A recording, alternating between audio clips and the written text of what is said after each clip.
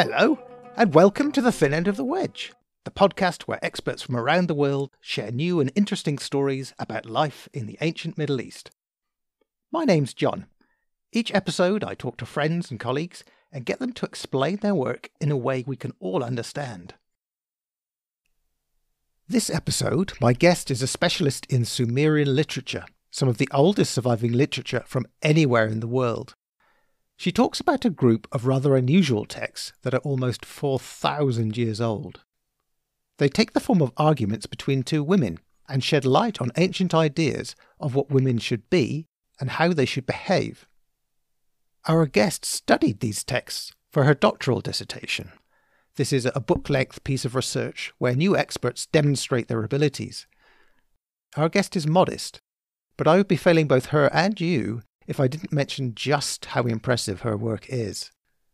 In 2018, her dissertation won the International Association for Assyriology's prize for the best dissertation in our field submitted in the previous two years. Then, in 2019, it won the German Academic Scholarship Foundation's prestigious Johannes Zilkens Dissertation Prize in Humanities and Social Sciences. That's pretty special. The text she works with are difficult even by the standards of Sumerian literature, and before she could even start to analyse them, she had to reconstruct the text in the first place. Unlike the situation in some other academic fields, a lot of this foundational work still needs to be done. It's one of the most difficult and intellectually challenging tasks an Assyriologist can undertake. So get yourself a cup of tea, make yourself comfortable, and let's meet today's guest.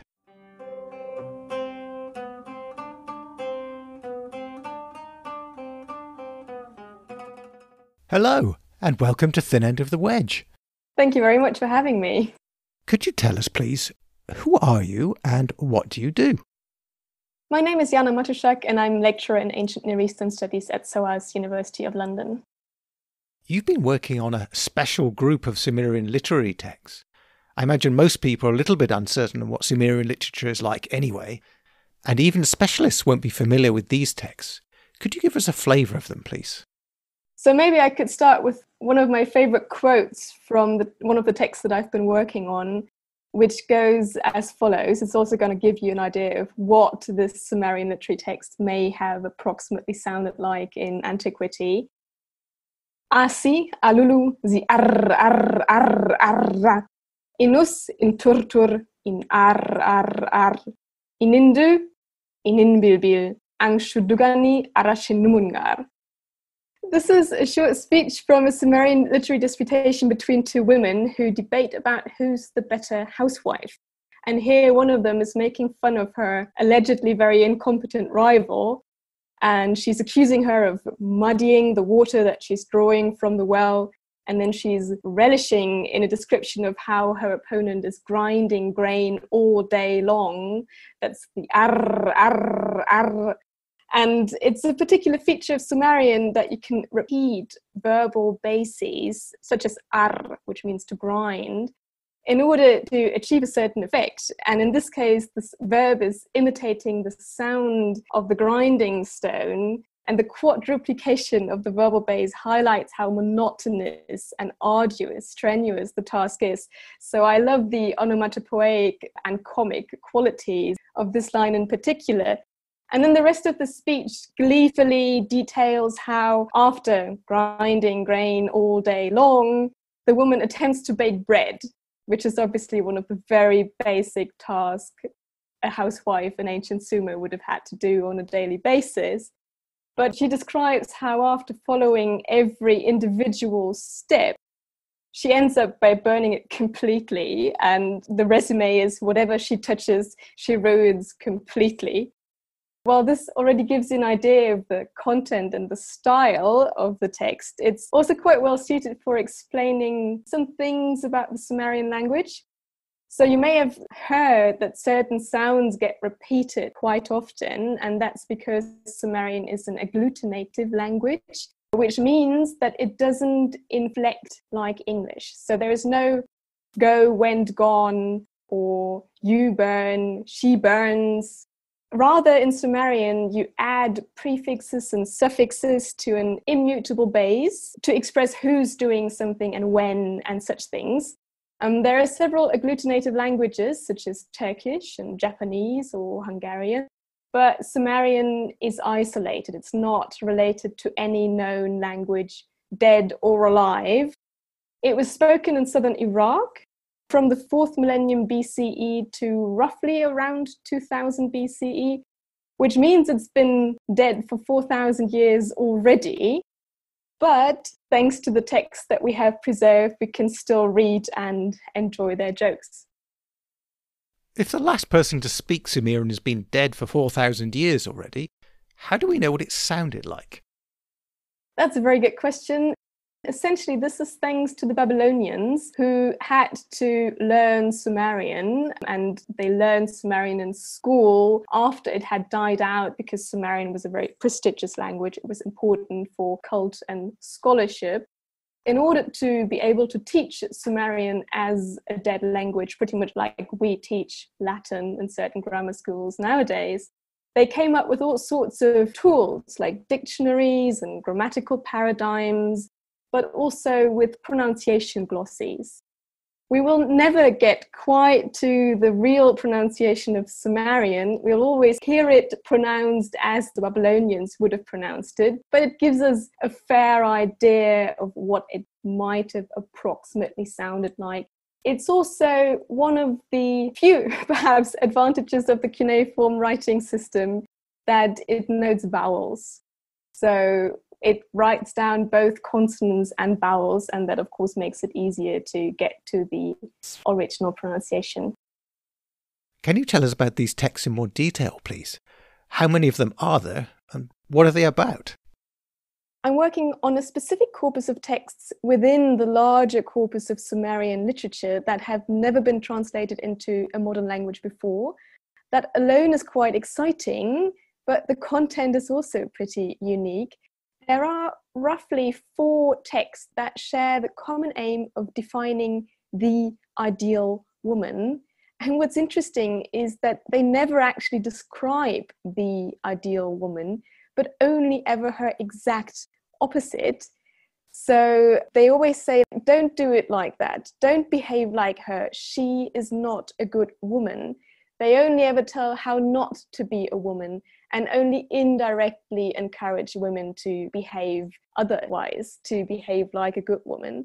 And out of these four texts, which aim to define the ideal woman by way of her exact opposite, there are two verbal duels between women who quarrel about who's the better housewife.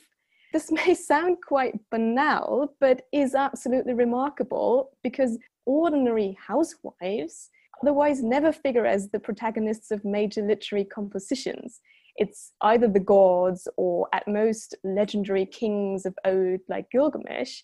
But here we have two bickering neighbors in some unknown southern Iraqi city at the beginning of the second millennium BCE who apparently hate each other's guts. So it's very down to earth in that respect these two verbal duels go by the not very evocative titles Two Women A and B, which is established in the secondary literature, but also more than just a little unfortunate because the texts themselves are a lot more exciting than their modern titles suggest. Only Two Women B is nearly completely preserved at 230 lines. That's roughly medium length for Sumerian literature. And the text is preserved on over 60 manuscripts from all over Mesopotamia. So it was already very popular in antiquity. It's a fascinating text because we can observe beautifully how, from a rather playful beginning, the contest between the two women totally gets out of hand and ends in outright slander when one woman calls the other a whore. Now, this is a very serious accusation if hurled against a married woman because it implies adultery, which is a capital crime in Mesopotamia. And indeed, her husband immediately threatens to divorce her on the grounds of these rumors. So the slandered woman has to go to court to clear her reputation and have her slandering rival punished. So there is quite some drama going on. And then the last third of the text has the longest literary adaptation of a rather twisted and complicated lawsuit in the Sumerian language. The other text, which goes by the beautiful title of Two Women A, is only a collection of unconnected fragments, and we don't really get any sense of a plot. We don't know if there was as much drama involved as in Two Women B, partly because the beginning and end are lost. But from what we can tell from the individual portions of texts that have been preserved, it's again about the general question what does it take to be a good woman? And in most cases, a good woman is equated with a good housewife. The other two texts are songs of abuse against women, and they're pretty much my own discovery. They were completely unknown. So I actually got to choose titles for them. And I decided to follow the Sumerian and Babylonian practice of citing texts by their first line. So in Mesopotamia, we don't get these abstract titles that we're used to. Rather, they quote text by the first couple of words. And that works really well in these two cases because the first song is called The Evil Mouth, and the second one is called Woman Perfecting Evil. That gives you straight away an idea of what to expect that goes on in, in that vein. Those titles have definitely got a lot more zing to them. Definitely. Definitely. The problem that we have with these verbal contests is, for one thing, I mentioned that Two Women A doesn't have the beginning preserved. So we can't use the Mesopotamian practice of quoting it by the first couple of words because we don't know them. And the problem we have with Two Women B is that the beginning line does not have quite as much zing as woman perfecting evil. It's a rather innocent question. One woman asks the other, Metam Amdidin, where are you coming from? And that doesn't tell you anything about how the text is going to develop. And on the other hand, it's also a very common beginning for this type of genre, this type of verbal contest between two human protagonists. So it's doesn't make much sense to use that title because it could even be ambiguous. There might be more text beginning the same way. That would be a bit like us calling lots of things once upon a time, wouldn't it? That's a really good comparison. There are not quite as many verbal contests as there are fairy tales, but yes, that's very similar in that respect. You mentioned that many of your sources are fragmentary. Could you explain for us, please, the physical nature of these sources and how it is that they come to be fragmentary? Yes. All these texts that I've mentioned, these two songs of abuse and these two verbal duels, just like any other text in Mesopotamia, they were written in the cuneiform script on clay tablets. Now, any clay object is wonderfully durable, and unlike parchment, for instance, they only get harder if they burn. So burning a library in Mesopotamia is, is quite a good thing. But they also tend to break and sometimes into rather tiny pieces. And that explains the fragmentary nature of many cuneiform tablets. It's even a little more complicated when it comes to Sumerian literary compositions they are very often a giant puzzle because there are very few tablets that originally contained the entire composition. More frequently, they only contain excerpts of about 20 to 50 lines. So if you have a text like Two Women B, which is 230 lines long, you need several of those to reconstruct the entire text. These 20 to 50 lines seem to be the portion of text that scribal students learned per day. So they first split up longer compositions into manageable chunks before writing them out completely on larger tablets. So we mainly have excerpts. Then these excerpts can be broken as well, and only very rarely do we have tablets that originally contained the entire composition. Most of them are again broken only for the mock hymn The Evil Mouth do I have one clay prism that contains the entire text with only a few breaks. For all the other compositions that I've mentioned, I have to reconstruct from various different bits and pieces. So you're dealing with damaged fragments of what were only partial copies of a text. And each of those copies had a slightly different version of the text anyway. That sounds pretty much like a nightmare scenario. That's true. It's very time consuming, but it's also exciting because you get to travel to museums and collections, and sometimes you're lucky and you find another tiny little piece. And sometimes that closes a gap. so it's worth the effort.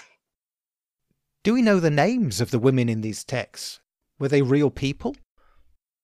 All characters are completely fictitious, which I think very much lies in the nature of the genre if you set out to define either ideal women or, or the exact opposite thereof, you will necessarily create some sort of stereotype.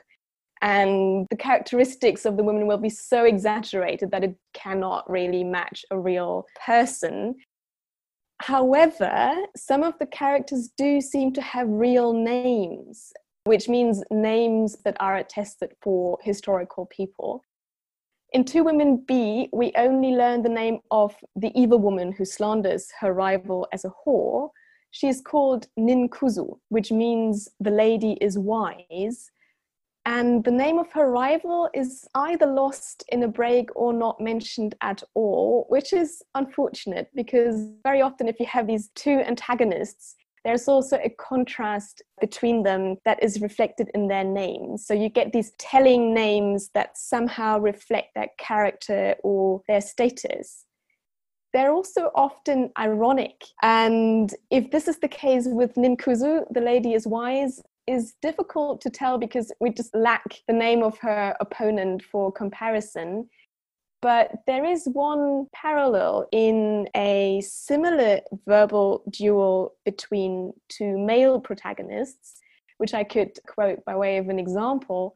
Here we have two scribal students engaging in a verbal contest, but they are not quite of equal rank. So there's one precocious younger student who challenges the authority of his more senior colleague and the young precocious one is called Enki Manshum, which means Enki, the Sumerian god of wisdom, has given it to me, which I understand as Enki has given me understanding.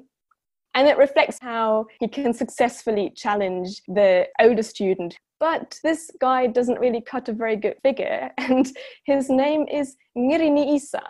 His foot is beautiful the name is actually not quite as silly as it might sound to us because foot stands for behavior and it is actually an attested Sumerian name. It wasn't made up or anything. So it normally means his behavior is beautiful. But either there was some sort of joke going on about the foot being singled out when, as a scribe, his hand really should be beautiful, or if it's a contrast between his name and his actual behavior in the text, which is far from beautiful because he makes quite a fool of himself. Whether this is the same in Two Women B remains to be determined. Even if the characters are fictitious, do these texts reflect in some way a reality, whether past or present, or are they pure fiction? They are fiction, but a quite special type of fiction which is inspired by everyday life in a typical southern Iraqi city in the early second millennium BCE. So these texts are set in the then present, and the protagonists, if they have names at all, have common Sumerian names and live in surroundings and circumstances that would have been largely familiar to the ancient readers. This is again very unusual, as most literary texts are either set in some mythical primeval time, or at least in some glorious half mythical past, or they're altogether timeless. But there are almost no other texts which are set in the then present in the Babylonian city of the early second millennium BCE. So, in other words, we have a very different sort of fiction than in the stories about the legendary kings of Uruk, such as Gilgamesh, who are setting out on adventures in faraway lands, fighting monsters, etc. It's still fiction, but closer to home. Who wrote these texts then, and how were they used? The texts were most likely written by teachers for their students, scribal apprentices, and they probably had little relevance outside of the school. So these are very heavily didactic and moralizing compositions, and not the kind of traditional literature that was passed on orally for centuries before finally being written down but we don't know who exactly the authors were and whether it was one or many and how many people were involved in the writing process. What we do know about is scribal education in general, so that the context, the immediate social context in which these texts were most likely composed and studied. As far as we can reconstruct scribal, scribal education in the early second millennium BCE, it started with learning simple cuneiform signs and then gradually progressed. And most students would only have to learn enough to conduct business, to draft contracts or to write letters. And only some of them would proceed to study Sumerian literature, which we have to remember that at the time that these manuscripts were copied out, Sumerian was no longer spoken in daily life these scribal apprentices had to learn Sumerian as a dead foreign language at school, a bit like Latin nowadays, and only those highly educated students would then read texts such as Two Women B.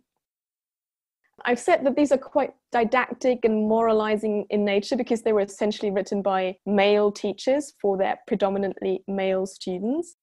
Two Women B is a good case in point because this text alone could teach students so many different things.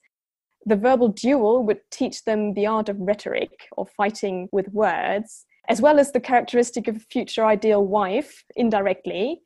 And then the lawsuit at the end could teach them procedural law and also how to successfully hold speeches for the defense or prosecution speeches, etc it's really the first time that we observe the conscious creation of literary texts in order to teach readers a lesson in life. It even borders on a reflection on ethics, as one of the leading questions is always what does it take to be a good woman?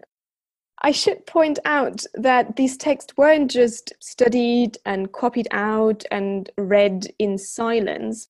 Very likely, they were actually performed. It's obvious from text internal criteria that they had the potential for some sort of theatrical stage adaptation, which lies in the nature of the genre. It's very lively, and it's quite possible that originally these sort of duels between two antagonists who argue about who's better or who's more important were actually improvised in live performances. And we have some evidence that in the 21st century BCE, when Sumerian was still spoken as a daily language, some sort of verbal contest was performed at the royal court for the entertainment of the king, with slightly different protagonists. It wouldn't be housewives entertaining the king, it would be more likely more abstract things like summer and winter or bird and fish. These are topics that are still very popular.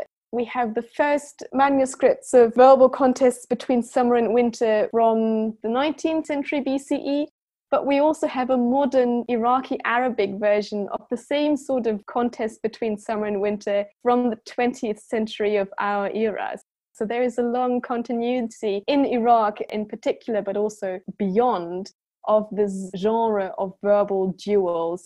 Almost in every kind of context, there is this performative aspect to it because it's mainly direct speech and the antagonists engage in this contest. And perhaps I can use this opportunity to announce that I'm actually collaborating with professional storytellers of the Zipang Collective to create a modern performance of Two Women B in English and Arabic.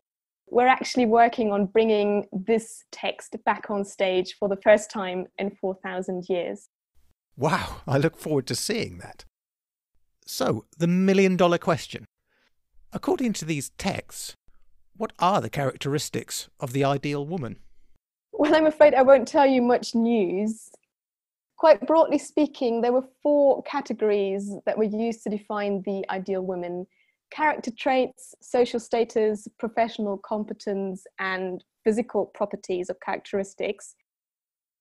When it comes to character traits, certain virtuous character traits were expected, such as decency, modesty, moderation, obedience, diligence, etc. So, just the things that we still more or less appreciate.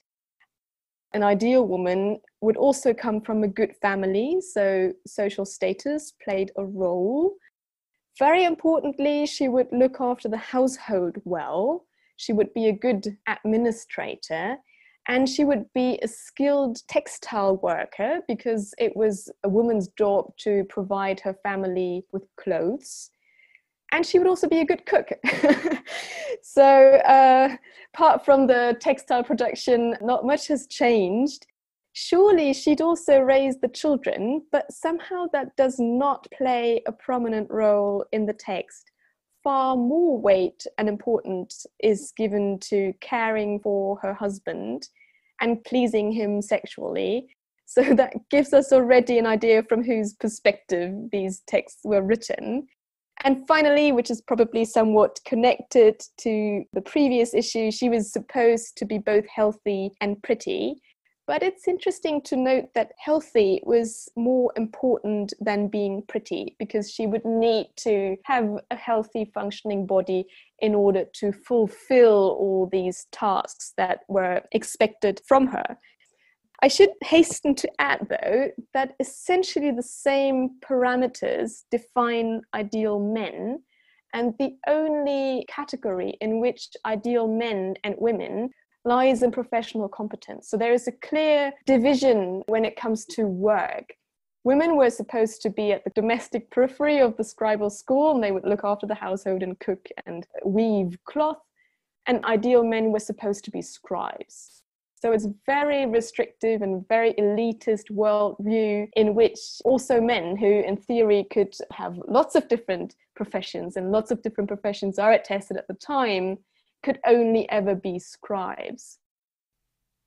There are many different strands of ideology evident in these texts, but the big one has to be that you have a text apparently written by men for young boys that explains how to be a woman.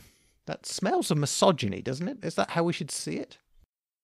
That's a really good question, which is surprisingly hard to answer it's true that the male authors chose to define ideal women by attacking their exact opposite. So these texts really consist of nothing but insults against women.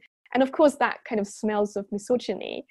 But the same is true for texts about ideal men. So that very peculiar pedagogy of defining ideals by way of its opposite that alone is not enough to call these texts misogynist because you have the same approach in texts trying to define the ideal scribe.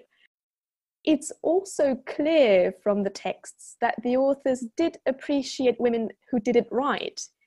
There are no statements anywhere in Sumerian literature that speak of categorical misogyny, such as woman is the source of all evil, as you find it in certain later Greek writings or traditions derived from the Hebrew Bible, and actually also in some later Babylonian texts from the first millennium BCE.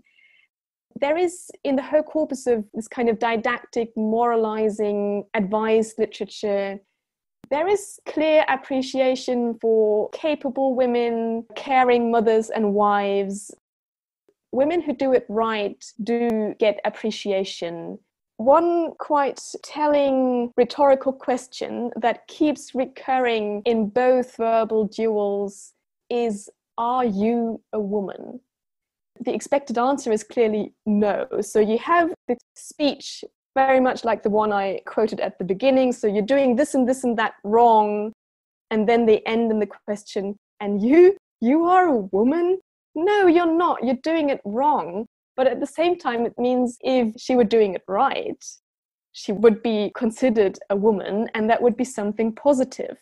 In general, misogyny in Sumerian didactic literature from the early second millennium BCE is it's a little more subtle You see it in certain imbalances, in certain very exaggerated stereotypes. For instance, when men quarrel, it never gets so totally out of hand, but the minute two female neighbors engage in a contest, it ends at court and it's big drama. I think these imbalances can be explained with the fact that knowledge of literary Sumerian was restricted to male dominated scribal circles who felt superior to pretty much anyone and clearly superior to women who were largely excluded from the discourse for lack of this kind of advanced scribal education. And then it's easy to make fun of women if there are no women of equal standing around. You've obviously done a lot of work on these texts already, but what stage are you at in the research process? I have a few articles and book chapters out on individual topics related to my work on the construction of the ideal woman or gender roles more specifically. But I have to say, the bulk of my work is forthcoming or in preparation. My critical edition and analysis of Two Women B should appear with De Gruyter before the end of this year. Once that's done, I will tackle the rest of the corpus.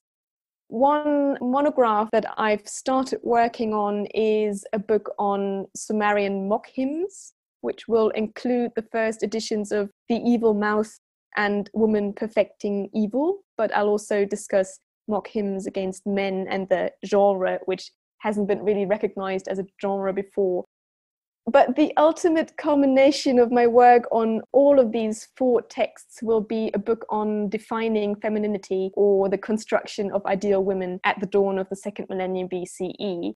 This will be a synthesis aimed at a wider interested audience with a stronger methodological underpinning from gender studies. Because what we have here, in fact, is the world's oldest literary discourse on gender roles, on what it meant to be a woman the core of that book already exists and I, I, really look forward to writing it but it will probably take some time to finish.